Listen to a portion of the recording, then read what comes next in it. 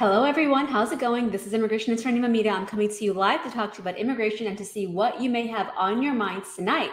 Today, I want to start off with a special topic, but before I go into this, if you have a question about immigration or you have a concern about your case, feel free to drop your comment or question in the box below, and I will do my best to answer as many questions as I can live before I have to go. And if you have been looking to speak with me, please give our office a call 212-248-7907. I work in New York. However, I work with clients all over the US. So do give us a call. Don't delay when you need help on your case, okay? So the question that I wanted to start out with this with is this. Are you in the middle of your marriage green card case?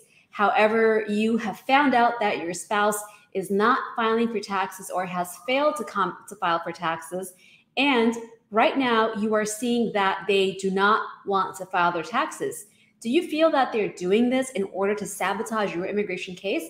Because when you file for a marriage based green card application, your US citizen spouse must be current and up to date on their filings. So, what can you do if you are trying to do this process? You're married to a citizen and you find out that they haven't filed their taxes or they, uh, they keep giving these delays and these excuses about why they can't file. When they do this, this leaves you in a situation where you can't even proceed with your green card filing. Lawyers don't want to work with you because the taxes are not filed. So, what are your options in this case?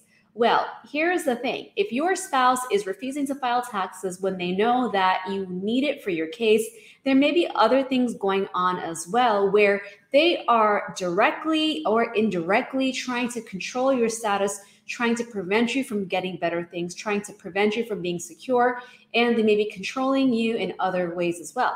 This is where I would love for you to give us a call at 212 248 7907. Because if this is your situation, if you are going through this where your spouse doesn't want to file, or you have a request for evidence on your case, and your spouse doesn't want to give you the documents, or they give you the runaround saying that they can't do X, Y, and Z, when they fully well know that it will cause a denial in your case, please give us a call at 212 248 7907 to see if we can help you move forward on your own without having to rely on your spouse. Okay, it is a very powerful sort of case where you may be eligible to file for a green card and a work permit and a travel document all on your own without having to be on the edge, worried about what your spouse is going to do. You, you won't have to be on the edge about missing a deadline and getting a denial. Okay, 212 248 7907. Now, this is definitely something that people may come up with. Now, what happens also when you go for your marriage interview and you find out at the interview that your spouse has a criminal history that they failed to tell you about? What happens when you you're in front of the immigration officer and you're being asked questions about each other and all of a sudden the officer asks you, "Well, do you know if your spouse has ever been arrested? And you say, no, he's never or she's never been arrested.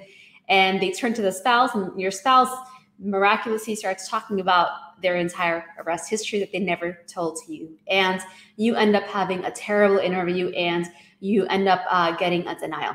What are your options in this case? Well, my dear friends, I submit to you when you marry someone, you marry somebody to have a life together. And if your your partner is not telling you important details about their criminal history, their financial history, uh, their previous marital history, if they've been married more than once. These are things that you deserve to know the truth about. And if your spouse has prevented you from finding this out and you only find it out after the fact, after you're already in this uh, complicated relationship, then you should give us a call at 212-248-7907 because these are unpleasant surprises and they're usually accompanied by other things that happen in the relationship that make your life very difficult and very unstable uh, in terms of securing your legal status. And we may be able to help you file for a green card uh, on your own without your spouse. Okay. All right. So I'm going to go ahead and answer some questions. Thank you to everyone who's been asking. Uh, I am live streaming on all platforms available, which is TikTok, Facebook, YouTube, and Instagram. So thank you to everyone who's joining. Um, Golama is saying, I'm from Portugal. How can I work in the USA? Golama, you need to be qualified for a work visa, which is not something that I do, uh, nor do I do EB4s uh, or F1 cases. If my spouse signs a voluntary departure but comes back, does he still have the 10 year bar from Scarlett Reyes? If your spouse signs a voluntary departure and they leave, uh, they can come back as long as they come back with permission and they won't they may not have to wait now normally when even when somebody has a voluntary departure uh, when they leave they may still uh, uh incur uh, or trigger what is called the 10 year bar to, to re entering the US. But if they're married to a US citizen, then you can actually ask for forgiveness of this without having to wait the full 10 years. So, Scarlett, your spouse can come back. Uh, he probably, he may have the 10 year bar uh, because the 10 year bar is something that people get as anytime they've been unlawfully in the US for more than one year. Uh, we still would have to evaluate your spouse's case to see what else he may uh, have to do. But do give us a call, 212-248-7907, okay? And we can still help your spouse come back to the US. If your spouse or your family member has been deported or they sign a voluntary departure and now they want to come back to the US. So yes, it is true that many times they may have a 10-year bar, but where somebody who has left the US has a US citizen or green card holding spouse uh, or parent, then they may be eligible to apply for what is called the I 601 waiver that shortens that 10 year period down to a lot less. Okay. Um,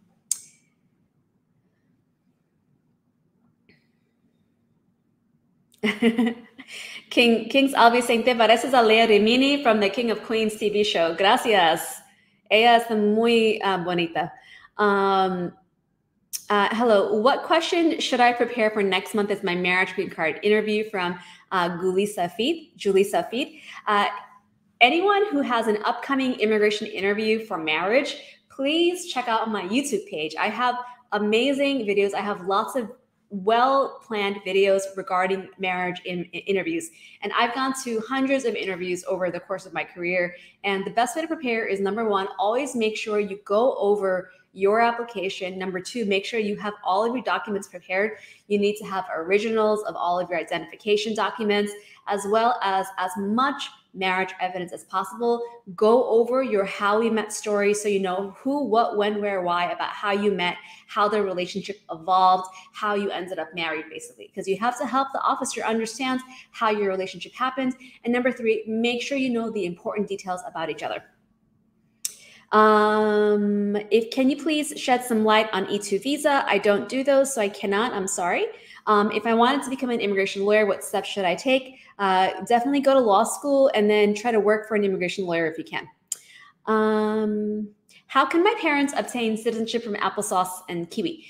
If your parents are looking to get citizenship, there is a very important factor that we have to look at first. Number one, we have to see how your uh, mother or your father entered the US.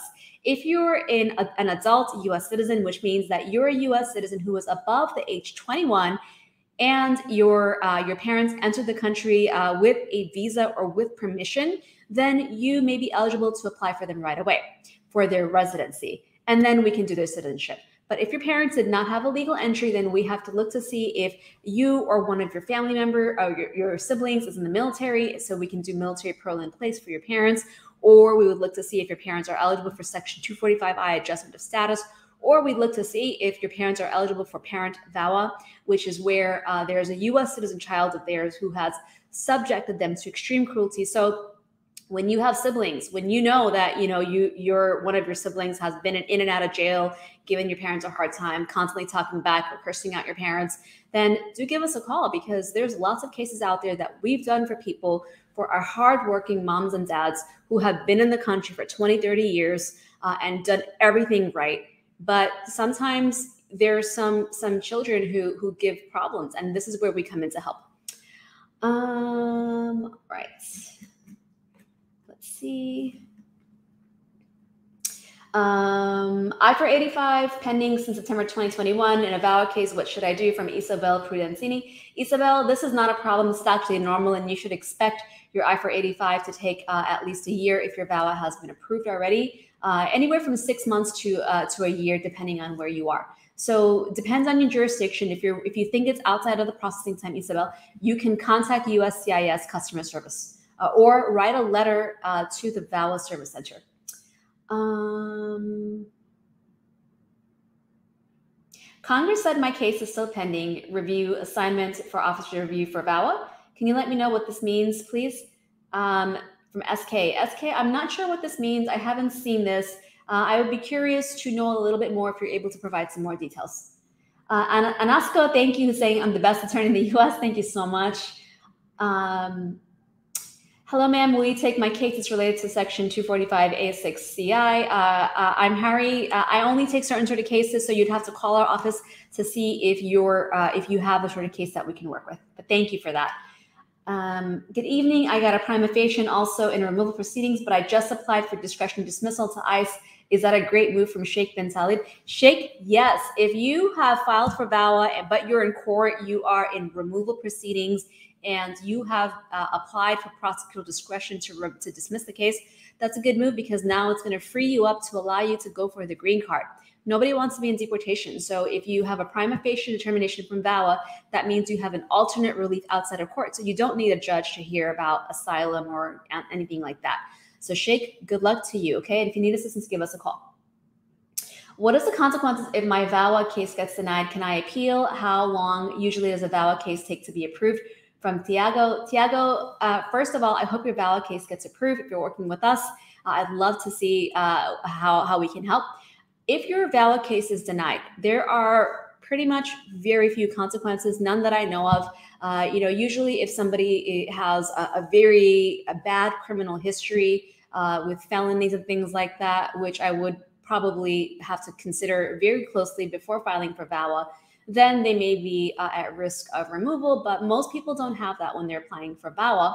Uh, and simply, if you get denied, usually the case is not even referred to, to court. So usually nothing happens to you if it gets denied. And yes, if your VAWA case gets denied, there is a process for appeal, so you could appeal it further. And I would definitely recommend doing that when your case should have been approved. Okay. Um, and normally VAWAs are taking about two years um, to be approved on their own. Um, I have my interview tomorrow from Sullivan Lucian. Good luck to you. All right. My current visa is about to expire this June 30th. How long does the I-765 C9 through VAWA take? Um, so uh, Harvey, usually when you're applying for a work permit through VAWA or a work permit to adjustment to status, these days the work permit is taking about eight to 10 months to get. So, yes, it will take a long time. And if you just applied recently, then you're not going to get it before June 30th, most likely. But you can request an expedite if you meet the qualifications.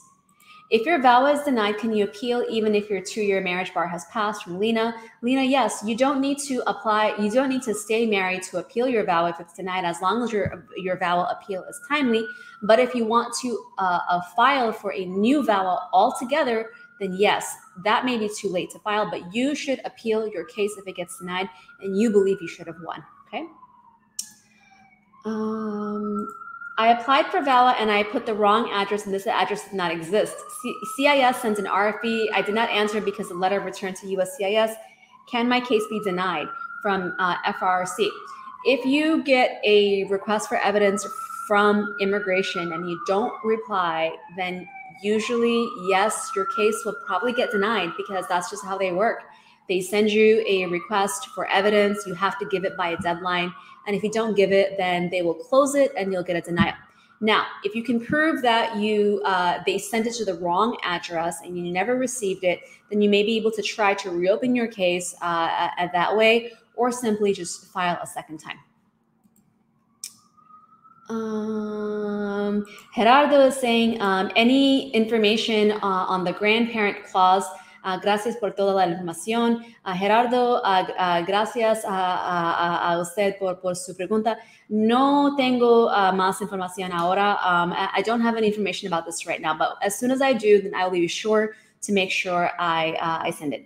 Um, Rafiuddin, uh, assalam. How long is it taking to get the work permit and parole from Hello Bonetti? Hello Bonetti, uh, work permit and, and advanced parole will take between eight to 10 months, depending on the category of case that you file for. Because in immigration, you can apply for a work permit under like 30 different categories. There's 30 different categories of eligibility for a work permit. So depending on what your category is, that's what will determine how long it takes for your work permit and advanced parole to be processed. Generally, the majority of people are applying for a work permit and advanced parole based upon an adjustment of status application, which is a green card application. Um, and these are taking uh, an average of eight to 10 months these days. Is it normal to do biometrics prior prior to receiving prima facie? It's been five months, and how long does it take nowadays anyway? From Elvis, Elvis, I can't really tell you how long anything is taking these days. The, timelines are up and down, but yes, it's normal to do biometrics before prima facie. Um, please, my question is: If I filed for VAWA by myself since July 2021 and no prima facie yet, should I be worried? And just one RFE for good moral um, conduct from Mitchell. Mitchell, uh, thank you for the question if you have filed for VAWA by yourself uh, in 2021, you still have not received your prima facie determination, you don't need to be worried, but I would contact the, the Vermont Service Center to see if they can issue you a prima facie determination.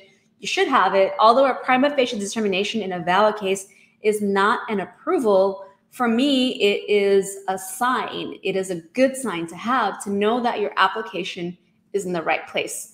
Um, and if you have already uh, responded to the RFE for good moral uh, character and, and, you still haven't gotten your prima facie, then you should definitely contact them.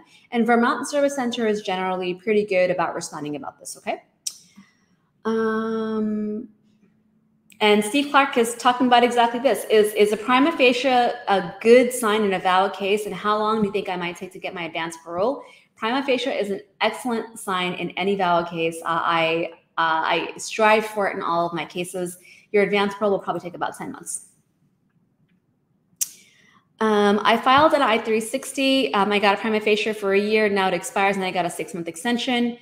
Um, that's good. You should definitely go ahead and keep renewing it. When having an interview, how long does it take for them to send a green card from J Reyes? Uh, J Reyes, after your interview, your your green card will approximately take about uh, up to 30 days to, to receive. But if there's any any issue in your case where the officer who interviewed you needs to review it further or to investigate certain, certain things or give you um, an RFE or they want to ask you to come back for a second interview, it will take a lot longer than a month. Uh, I would expect several months for that. Can a person work with their ITIN without getting in trouble? Well, sir, I can't answer that question about whether you can you, you can work legally. You're not if you don't have authorization, you're not supposed to work. So I can't say that you can. Um, but people file taxes with ITINs without problems. How much is it to make an appointment with you from uh, Jaime Ramos? Jaime, uh, it is 150 for an appointment. Um, and I uh, help people all over the country. So no matter where you live, uh, you can give us a call. Applicant has died. What is ha what happens to the derivative of an I-751 case that was pending before the court from GT Can? GT Can, um, in this case, uh, if if you have a green card already uh, and it's an I-751 case uh, and it's pending and your spouse dies, if you have so so here's a scenario, guys. What happens if you have a two-year green card? Uh, you file the removal of conditions, probably gets denied, or you end up in court uh, and your I-751 spouse, the U.S. citizen, dies, well, you'd be eligible for a waiver, for a waiver based upon uh, termination of the marriage by death. So that's what you would ask for. And if you're in court, now is a good time to ask for prosecutorial discretion. If I left two times illegally, can I still apply for citizenship from Ileana? Uh, so that will depend, Ileana, first of all, on, on when the times were that you left and you came back illegally and whether you have certain bars and what cases you qualify for because before you apply for citizenship we have to get your green card and we have to see what's possible with that so give us a call Ileana 212-248-7907 I received my prima facie determination. Do I need an SSN to apply for public benefits? Um, from It Was Jesus Bro. Uh, it Was Jesus. Uh, you have to check with your state. Um, my husband got denied an interview due to attorney from Tina Murillo. Tina, I'm so sorry to hear that. I, I I would be curious to know what happened. Um, thank you to anyone who's sharing my videos and uh, my live video right now. Can my mom, who's a U.S. citizen, file for my adult brother who's married separated from uh, Mali Cookies? When you are a U.S. citizen and you have adult you adult children who are uh, who are above 21 whether they're married or not married or separated or divorced, if you're applying for them, you can expect that the wait time for your adult child is going to take more than 10 years. Moreover, if your child is in the US and you're a US citizen, of course, you love your kids, so you want to help them get their green card. If they're in the US and their status is expired, but you're a US citizen, they will not be eligible to uh, do the green card process inside the US when their priority date becomes current. Instead, they'll have to leave the US. Uh, they'll have to ask for a waiver for unlawful presence before. So, Mali cookies, your mother can apply for your brother, but it's not an easy fix. It is not a quick fix, it's a long process. Um, I had my green card interview two months ago and they lost my green my medical exam. they didn't approve your green card because of that. Um, I would definitely try to reopen that case uh, and see why they lost it. They shouldn't be denying it. They should be sending you a request for a new medical exam at that point. Okay. Um, my interview was done for asylum in January. My decision is still pending. How long to wait for my decision from Gaudi? Um, Gaudi, I would say these days during the COVID time, uh, post COVID time, after an asylum interview, it's it's normal to wait like up to six months for for for a decision. That's how long we've waited for several of our decisions. So good luck to you. I hope you get approved. Okay. Um.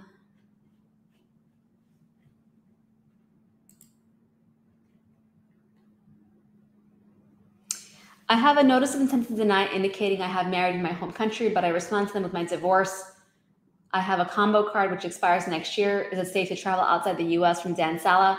Dan Sala, I would say no, it's not safe for you to travel outside the US because if you have a pending immigration case based upon your marriage to a citizen and they've challenged your eligibility, they give you a notice of intent to deny and you're still waiting for a decision. Well, when you travel out of the US, you can magically get denied by immigration on your case. And the minute you get denied, you will have an immense problem in being able to return to the US because the first thing that Customs and Border Patrol will do when you try to show your card, uh, your advanced parole card to, to come in through the airport, they check to see is your case still pending?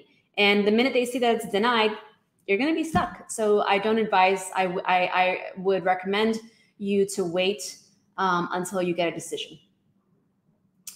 Um, how long before one can file for citizenship after getting a 10 year green card? If you file VAWA, but you're married, but you're still married to your spouse for four years from Tandika.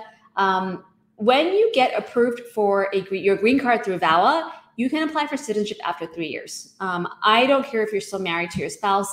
Uh, as I've said before on my on my videos, marriage is extremely complicated, and anyone who deals with these sort of cases knows that not everyone elects to to actually separate or divorce, but they still may be eligible for VAWA. So if you are scared, Tandika, to apply for citizenship because you're still married to your spouse, please give us a call 212-248-7907. You deserve to be a U.S. citizen. Um, and uh, I, you don't have to, to, to, fear fear this, okay? And they're not allowed to ask you about the VAWA case, uh, although they may ask you if you're still married. And if they ask, there's simple ways to explain what is going on. Um, I applied for VAWA. How long will it take? I applied last October. So VAWA cases are taking approximately two years. My husband is a green card holder. Can he petition for me and my kids? Um, my kids are in Jamaica, but I'm in the US. My boy is 17 and 13 from Leonora. Leonora, um, you're uh, if you're in the U.S. and you're within status, uh, then you can uh, then your husband can apply for you. If you're not, if you're out of status, then you you have to wait for your spouse to become a citizen, and you you you can uh, bring your kids as a derivative. But if your spouse becomes a citizen, they need to file their own I-130 for the kids. Uh, how, how, do I petition for my partner who's in Mexico from Kevin? Kevin, for your partner in Mexico, uh, the first question is, are you married or not? If you're married, then you the process is to apply for an I-130 and then to do consular processing. Your spouse will have to go for, or your partner will have to go for an interview uh, at Ciudad Juarez if you're not married, I would also recommend looking at the fiance visa for, for Mexico because it's actually a little bit faster. Uh, you can get an interview in Mexico City a little bit more quickly. Uh, so give us a call, 212-248-7907.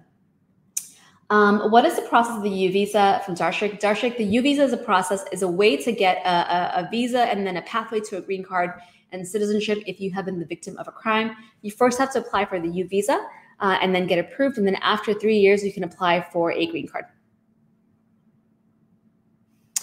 Um, what's next after the 10 year ban? My wife is the petitioner of the US citizen from Janie. Mona. Janie, um, if you have the 10 year bar uh, and you're married to a US citizen, then we have to see what cases you qualify for because With the 10 year bar, it depends on is it just a regular 10 year bar or a permanent 10 year bar? There's two different types of bars that are 10 years long. So we have to evaluate your case. Uh, please give us a call. I would love to see how we can help. Okay. 212 248 7907. If I petition for my mom in one state, do we need to stay living in the same state until it's done? For Miriam, Miriam, if you're petitioning for a parent, you don't need to live together at all. Although if you're called for an interview, you'd have to appear. Can I petition for my mother and my husband at the same time? From Jasmine, yes, you can. There's no restriction on this. Okay. Can I apply for removal of conditions? Uh, I'm married and I had a green card for three years, and I'm separated for the past two months from um, Air TikTok. If you have a two-year green card uh, that you got through marriage, but you're separated from your spouse, I do want you to give me a call, 212-248-7907, because this is the sort of case that I work with a lot for people who have uh, just are living in fear and have lost hope about what the possibilities are. People who get a two-year green card sometimes suffer for years uh, or they let their card expire because they've been separated and divorced. There are many waivers available when the marriage does not work out, whether it ends in divorce or you separated due to um, what you suffered during the marriage. The suffering can be emotional, physical, financial, sexual. There's a lot of different ways that a spouse can cause uh, cause you to, to, to, lose sleep and to uh, to fear for your status. Okay, so give us a call um 212 248 7907. Um, hmm.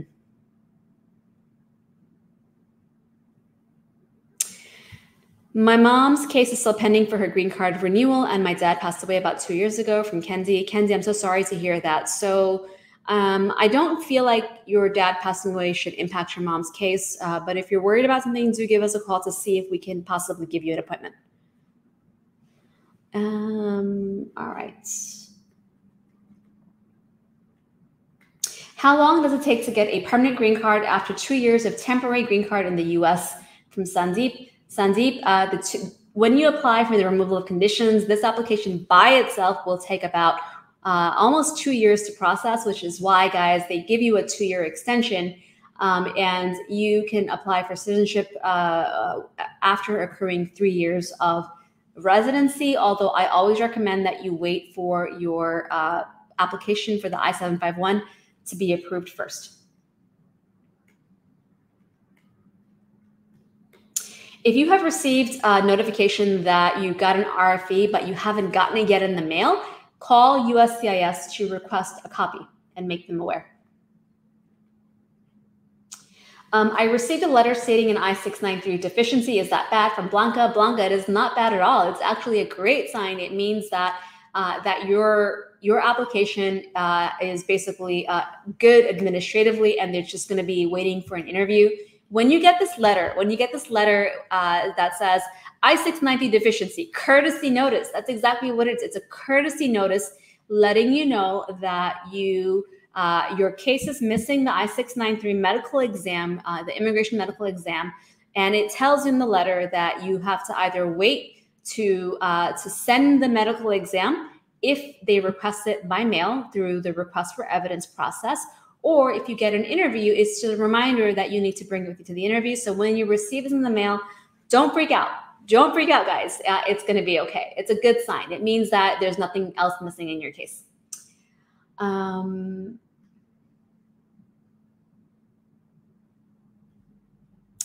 My US citizen father applied for my I 130. When I get my green card processing, I'm from San Antonio, from Rincy. Rincy, this depends on many different factors.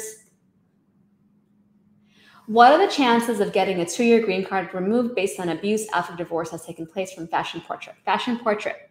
The chances of getting your conditions removed uh, on your two year residency to get the 10 year permanent residency card uh, when you've suffered abuse uh, is extremely high when you are working with the right lawyer this is something that I deal with on a regular basis. Your story has to be told in a particular way, uh, and you have to be prepared very well for the interview on your case, which is what I do for all of my clients. And I sit with my clients at these interviews by their side. So, Fashion Portrait, if you've gone through this, give us a call right now, 212 248 7907, uh, to make an appointment, okay? All right, everyone, that's all the time that I have for today. Thank you so much for joining. Uh, I will see you guys again uh, soon. And if you're waiting to make an appointment with me, don't delay any longer. My slots fill up pretty fast, and I hope to hear from you soon. Uh, give us a call at 212 248 7907.